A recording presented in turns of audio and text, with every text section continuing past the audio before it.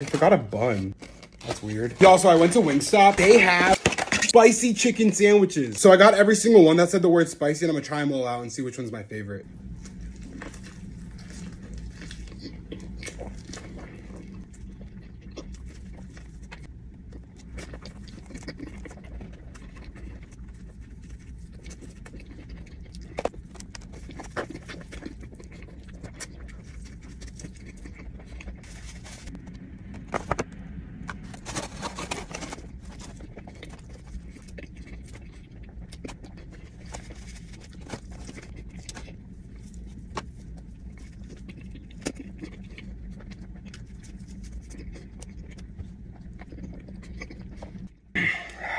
No reaction, but they're alright.